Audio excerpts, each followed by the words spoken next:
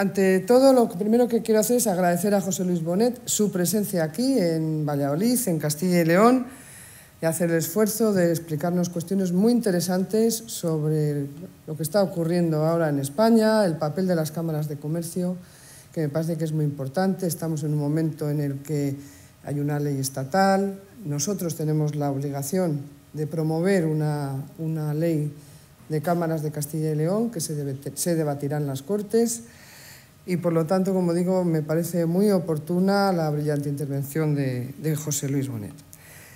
Una jornada, la de hoy, que vuelve a ser el, escenario de, la apertura del curso económico, aunque antes decía a los medios que el curso económico empieza muchas veces el día 1 de enero, con la aprobación de unos presupuestos y su entrada en vigor. O sea, que realmente... Pero bueno, está muy bien porque ahora es cuando se elaboran. También estoy viendo por ahí a don Luis Fuentes, ¿verdad? al delegado, al fin.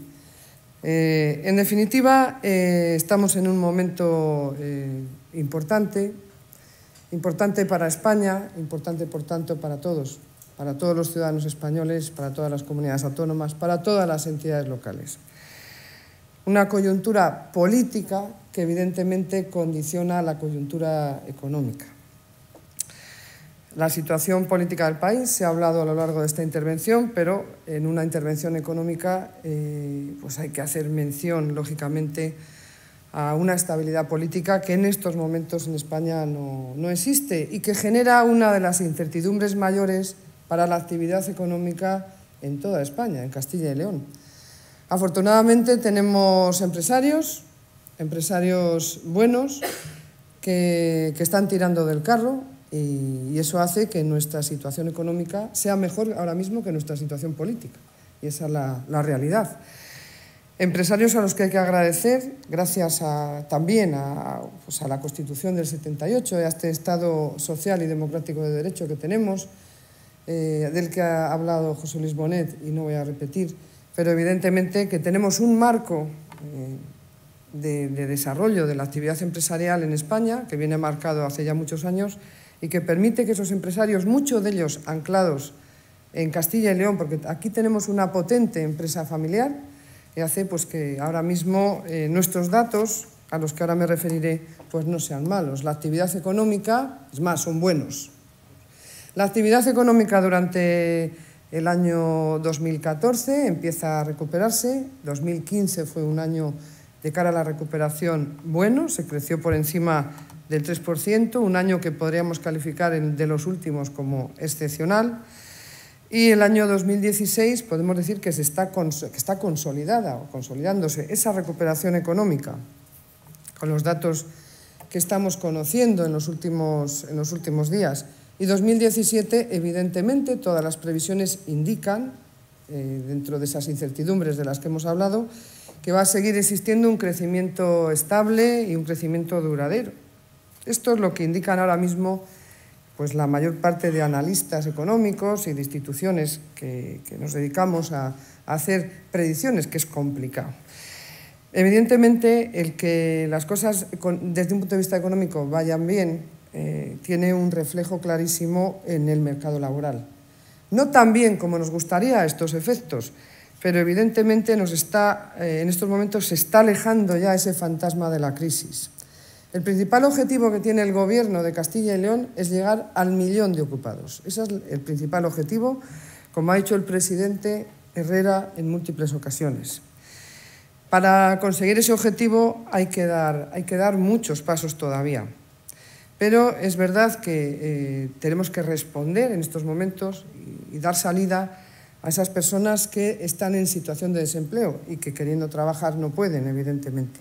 Por tanto, nuestro objetivo prioritario es conseguir que todas esas empresas, todas, perdón, todas esas personas que, quieren trabajar consigan ese trabajo. Eh, si analizamos un poco cómo ha ido la economía, pues vemos que en el segundo trimestre de 2016 la economía de Castilla y León creció al 3,4%. Como digo, son cifras que no conocíamos desde antes de la crisis, bueno, desde mucho antes de la crisis. No es normal un crecimiento superior al 3%. Se ha dado en, ese periodo en España en el que había un incremento muy importante de la actividad de la construcción, pero ahora mismo eh, son datos eh, que estamos hablando de un crecimiento cercano al 3,5, muy positivos, en tasa interanual. Y si hablamos de tasas trimestrales, pues cada trimestre, incluso desde, eh, desde el año 2014, cada trimestre crece sobre el anterior.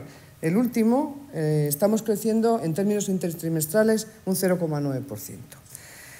Está claro que existe ahora mismo una fortaleza de la demanda interna en Castilla y León, evidentemente en España incluso más, y dentro de la demanda interna el consumo final de los hogares eh, tiene un componente muy importante. Pero aquí me interesa destacar eh, un, dato que es para nosotros trascendental, que es el buen comportamiento que está teniendo la inversión de bienes de equipo.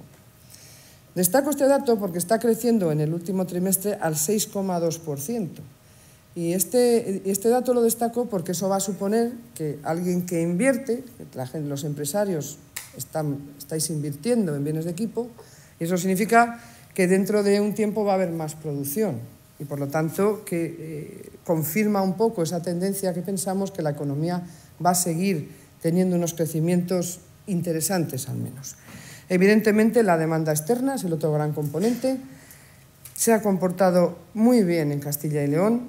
Eh, si hablamos de las exportaciones, estamos hablando de un crecimiento en los seis primeros meses superior al 18%, es un crecimiento espectacular sobre años récord de ejercicios anteriores. En el año 2015 ya crecimos, fue un récord, en el año 14 también, en el año 13. O sea que estamos hablando de que estamos superando en un 18% cifras récord de años anteriores.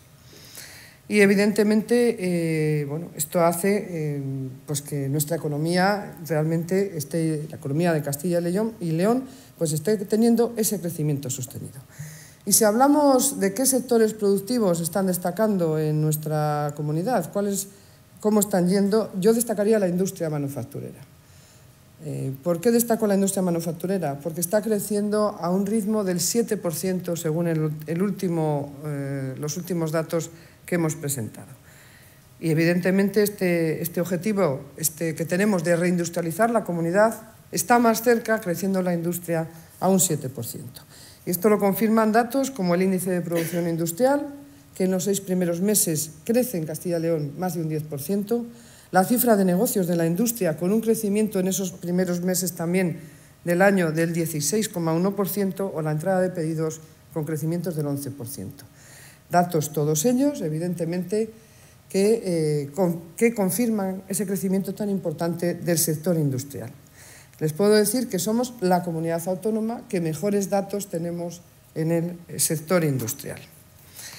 Evidentemente, como les decía, eh, el crecimiento económico eh, en sí es muy bueno, pero es muy bueno porque se genera empleo. Estos datos de crecimiento económico se están traduciendo en eh, una mejora clara del mercado laboral. El desempleo se está reduciendo, se está aumentando la ocupación y aunque existe algún momento puntual en el paro registrado que ha aumentado, como es el mes de agosto, en unas cifras muy pequeñas, pero la tendencia es, la que les digo, reducción del, número de personas desempleadas.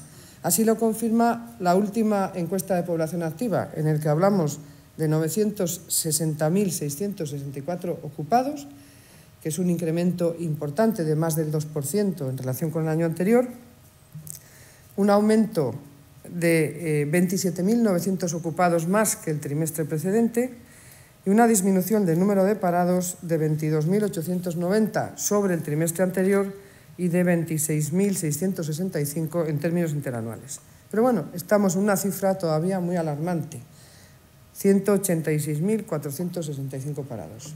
Evidentemente, hablamos de cifras muy altas, con una tasa de paro del 16,25% a nivel regional, Evidentemente es una tasa muy elevada, está casi cuatro puntos por debajo de la española, 3,75, pero eh, estas cifras nos animan a seguir trabajando, eh, favoreciendo el tejido empresarial que al final, y las empresas que al final pues son, eh, sois los que creáis el empleo el empleo en Castilla y León y, por tanto, favoreciendo a nuestras empresas, evidentemente favorecemos la creación de empleo. Las perspectivas, yo creo que estamos hablando de un crecimiento notable. No soy excesivamente optimista. he hablado de datos que auguro que el futuro eh, pueden, podemos seguir manteniendo unas tasas de crecimiento aceptables, muy por encima de lo que va a crecer la Unión Europea o lo que va a crecer, eh, en definitiva, Europa en su conjunto.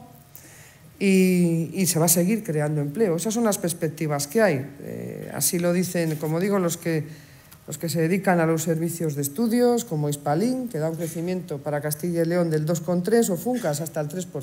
Bueno, andamos en ese abanico tan amplio, pero realmente lo importante es que estemos en una senda de crecimiento y que ese crecimiento nos lleve a crear empleo. Y las previsiones de creación de empleo de la Junta de Castilla y León, por ejemplo, para este año 2016 es de crear eh, más de un 2%. En el año 2017 también creemos que vamos a crear tasas cercanas al 2%, porque ahora ya no ocurre lo que ocurría hace unos años, que se, antes de determinadas reformas que creo que han sido muy buenas para España, que había muchos analistas y muchos economistas que decían que si la economía no crecía por encima de un 2,5% no se creaba empleo.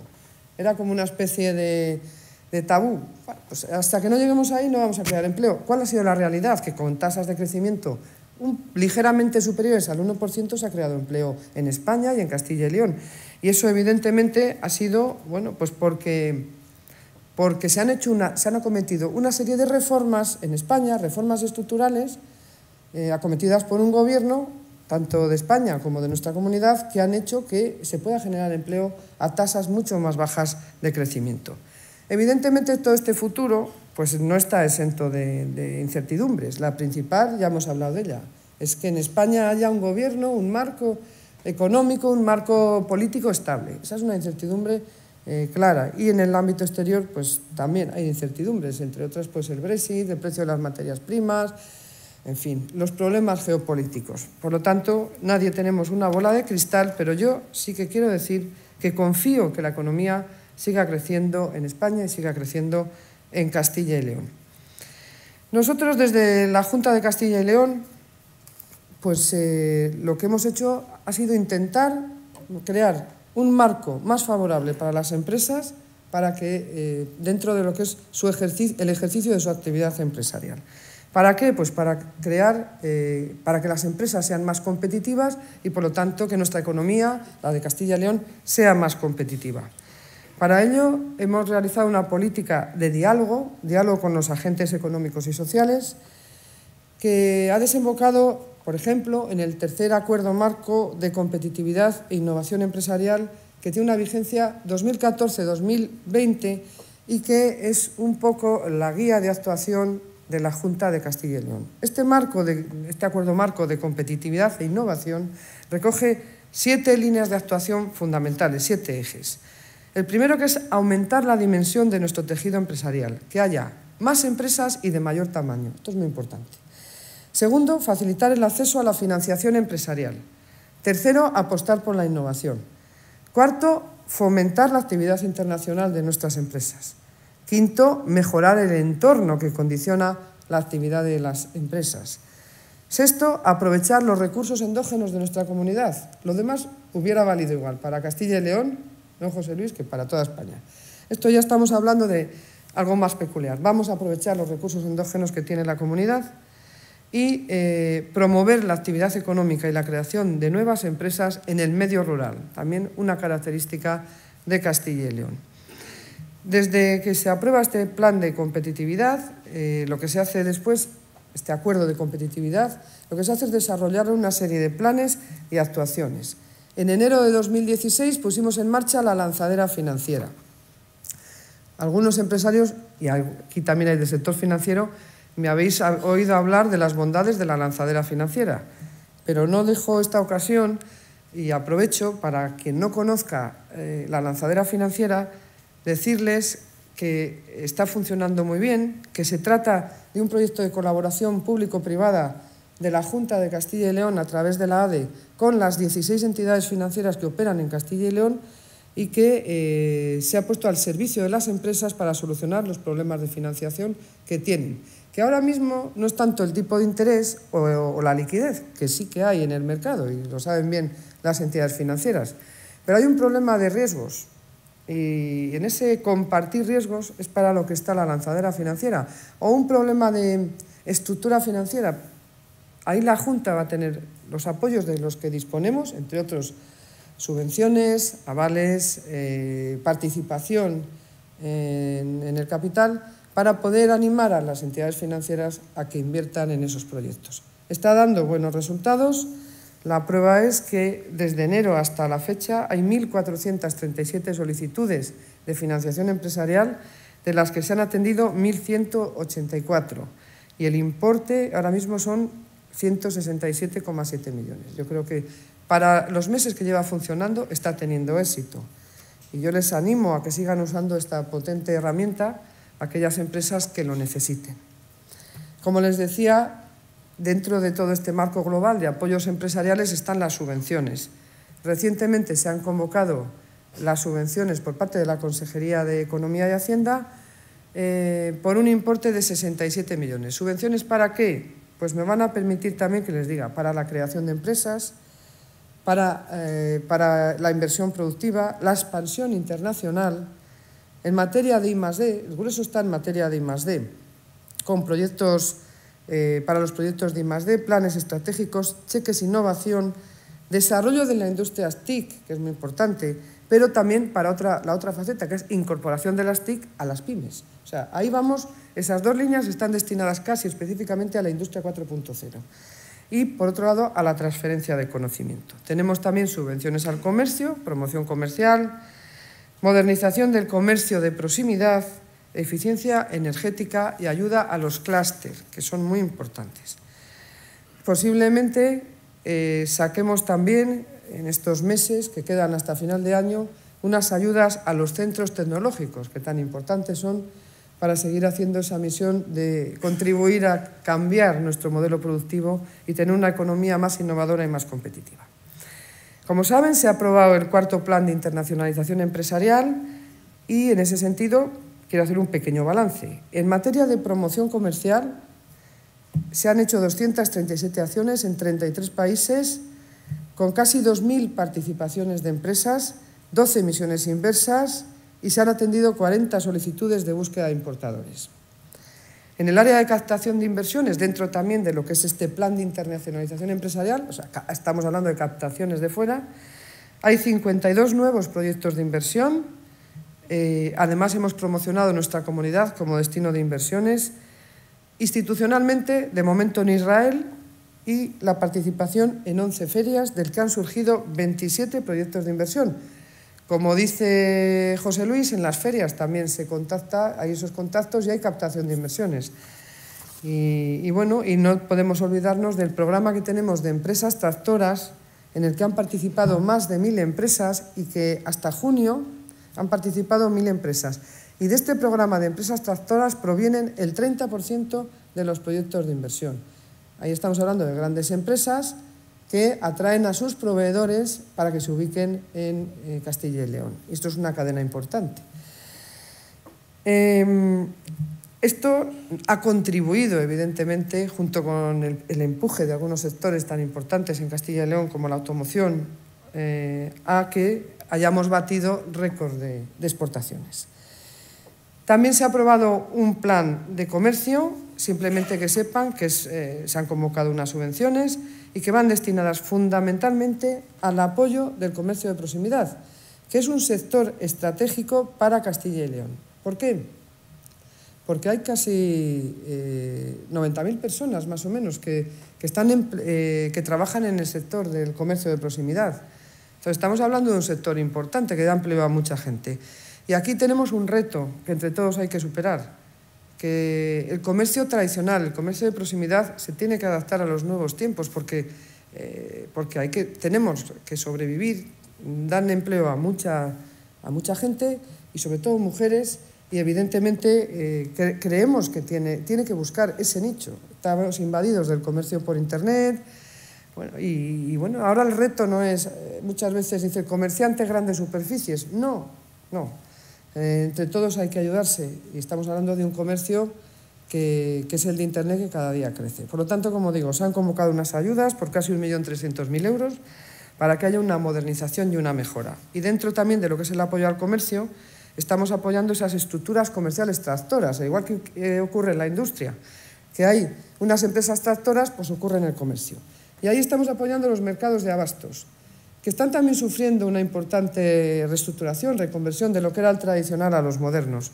Estamos apoyando la reforma del mercado del Val, casi dos millones de euros. Estamos apoyando en Soria la reestructuración del mercado de abastos y estamos trabajando con otras ciudades para poder apoyar con un carácter innovador también, porque todo lo que no se innova, pues al final acaba muriendo.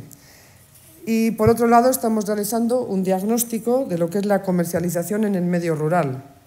¿Por qué? Porque, como decía, Castilla y León nos caracterizamos por tener un medio rural muy amplio y ahí a veces lo que no pasa es que no llega al comercio. Hay pueblos que no tienen, no tienen comercio. Estamos haciendo ese diagnóstico para intentar después, eh, con los operadores comerciales, llegar a acuerdos y ponerle en contacto con emprendedores locales, en este caso para abastecer, abastecer bien lo sabe el presidente de la Diputación, amplias zonas de nuestro territorio que ahora mismo no tienen ni siquiera un, comercio donde ir a comprar, no les digo ya, el pan. Y ahí también estamos trabajando. Hemos trabajado y hemos llegado a, poner algunas otras facilidades a las empresas, como es el abaratamiento del suelo, el suelo industrial y el suelo tecnológico. Como ya lo he dicho más veces, tampoco les voy a aburrir mucho, pero simplemente que sepan que aquí tenemos un suelo industrial eh, barato, barato y con facilidades de pago. Hicimos unas nuevas tasaciones y para incentivar la actividad económica se ha producido una rebaja media del, del 15% sobre esas tasaciones y en algunos casos llegan hasta el 50%. Esto hace que el precio final del suelo industrial se haya rebajado en algunos polígonos hasta un 70%, con unas facilidades de pago hasta 40 años. Y si vamos a ¿qué hacemos por el tecnológico, por el nuevo emprendedor, por el joven que quiere establecerse en un parque tecnológico? Pues ahí le damos el arrendamiento gratis durante el primer año, paga un poquito en el segundo y un poquito más en el tercero y a partir de ahí pues tiene que pagar ese arrendamiento. Pero le cedemos ese espacio gratis. Y, bueno, pues estas medidas también han dado un resultado. Eh, a 2 de septiembre hay solicitudes de compra de cerca de 300.000 metros de suelo industrial, y ha, habido 32 empresas diferentes, de las que 23 son empresas nuevas. Estamos hablando aquí de cifras que todavía podemos considerar modestas, pero que es eh, un, buen, un buen principio. Trabajamos en el plan de industria, a ver si de una vez se puede aprobar en las Cortes para conseguir ese objetivo de reindustrializar la comunidad y llegar a que nuestro peso en el valor añadido bruto sea del 20%, el peso de nuestra industria y vamos a presentar este mes una estrategia de emprendimiento, innovación y autónomos.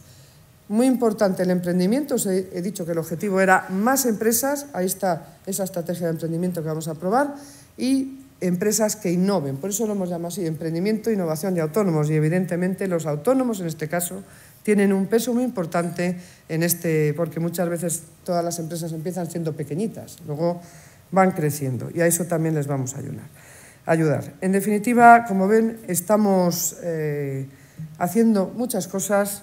Creemos que mm, la innovación quizás sea lo, más importante para una economía.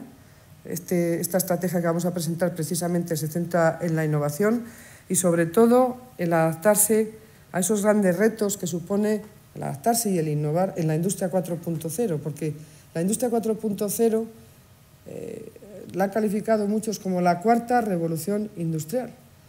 Y hubo la primera que en España no llegó a tiempo, bueno, ha habido otras cuantas revoluciones industriales y ahora estamos en esta. Y tenemos que llegar a tiempo y, cogerla. Y, y, para ello, desde la Junta de Castilla y León, vamos a hacer todos los esfuerzos para apoyar a aquellos emprendedores y aquellas empresas que decidan que se deben adaptar y que deben no perder el tren de esta industria 4.0. Avanzamos en la simplificación administrativa, pero bueno, como ya vamos muy mal de tiempo, no les voy a comentar todas las cosas que está haciendo eh, la Administración regional para intentar no ponerles eh, palos en las ruedas, para intentar ayudar a los empresarios a que se adapten a los nuevos tiempos, a que vendan más, en definitiva, a que creen más empleo. Y, nada más, simplemente decirles, felicitarles por esta iniciativa, al presidente de la Cámara de Valladolid, eh, porque han recuperado una apertura del curso económico que me ha permitido estar cerca de los empresarios en el día de hoy, otra vez más. Espero nunca estar lejos, a pesar de... porque yo creo que estamos a su servicio. Desde aquí me acompañan también altos cargos de la Consejería de Economía, el viceconsejero, el director de la ADE y evidentemente estamos a su disposición eh, para lo que quieran. Tenemos, las puertas abiertas y, lo que queremos es ayudar, ayudar eh, para que Castilla y León sea más próspera en este año que empieza. Espero que el año que viene, si tengo la ocasión de venir también, pues pueda decir que las cosas han ido bien, que se han resuelto esas incertidumbres políticas que hoy nos atenazan y evidentemente que hemos ido superando todas estas dificultades que hoy mismo eh, he tenido el, pues les he tenido que comentar. Así que nada más, muchas gracias por su atención.